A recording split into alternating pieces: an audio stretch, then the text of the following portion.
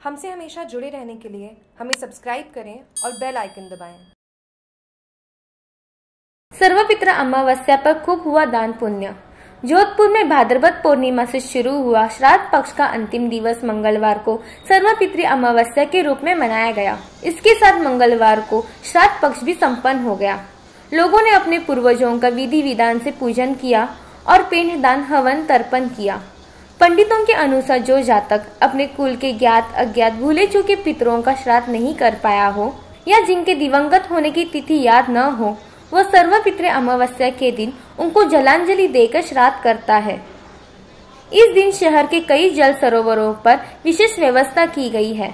मंगलवार को जातकों ने शहर के प्रमुख जलाशयों पर सामूहिक रूप से तर्पण कर दिवंगत पूर्वजों को जलांजलि दी। जातकों के लिए पद्मा सागर रानी सर कायलाना भूतनाथ स्थित जलाशय पर तिल जव दूध, पुष्प व आदि के साथ तर्पण की विशेष व्यवस्था की गई थी। जोधपुर से जागरूक टीवी की रिपोर्ट।